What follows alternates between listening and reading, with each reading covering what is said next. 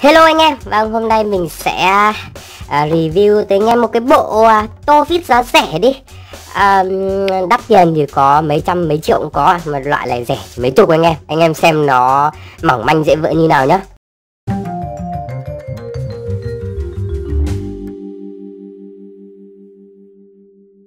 Đây, đơn này mình là trên Lazada này. Đó, cái này có cái trợ giá 10.000 này, chọn bộ chỉ 31.000 Đấy, nói chung là có mã 10.000 nhưng mà mình à, dùng rồi, mua sản phẩm khác rồi nên không còn.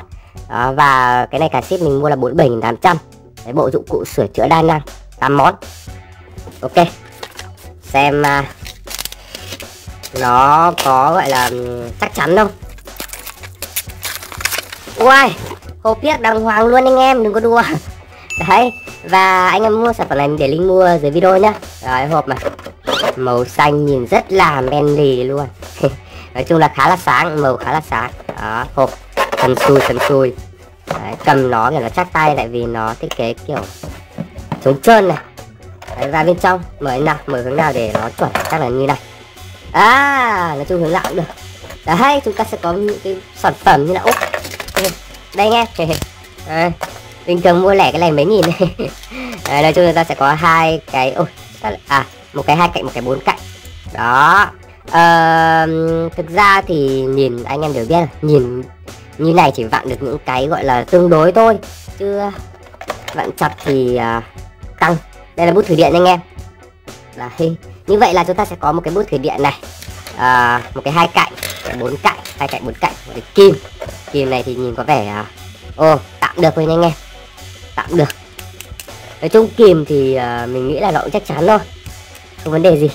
Đấy cứng cáp chắc hết và chúng ta sẽ có à đây cái này để vặn những cái nặng đây. Cũng hai cạnh và bốn cạnh. Đó, cái này thì chắc chắn hơn hai cái này. Đó. cái này thì để vặn sửa chữa kiểu điện thoại thôi. Đấy hai cạnh bốn cạnh này nghe. Ừ, cái này thì nó chắc chắn hơn. Đầu cầm nó to hơn và à, đây cái đầu cầm này nhìn nó mỏng manh vãi trưởng như này vặn không kéo gãy luôn. Đó ta sẽ có một cái da con dao để à, dọc giấy này. Đó. Con dao này thì bỏ qua đi không ngon bằng dao này của mình. Đấy. con dao mình đang dùng thì ngon hơn. Ok. Và cuối cùng là cái gì đây? Cũng lại một tô viết hai cạnh bốn cạnh nữa.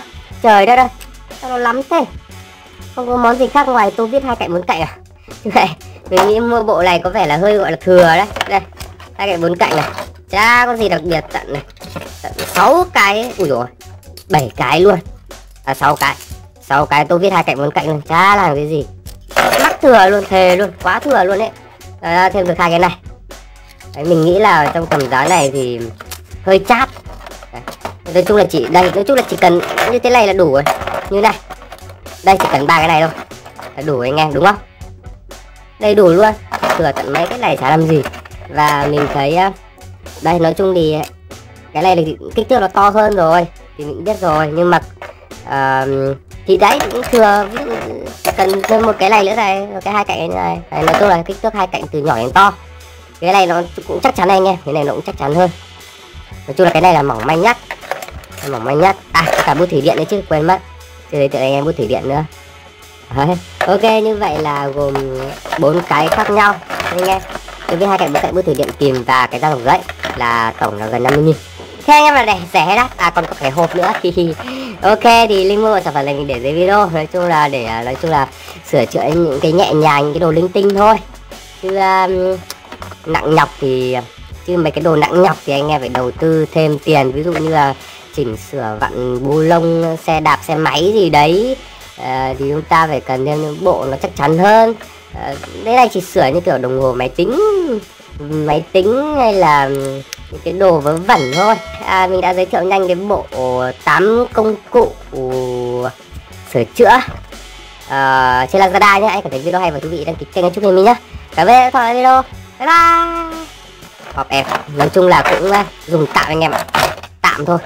Thế là có những cái bộ đó cũng khoảng ờ, hơn trăm nghìn nó cũng ngon hơn đấy. Bộ này là rẻ nhất rồi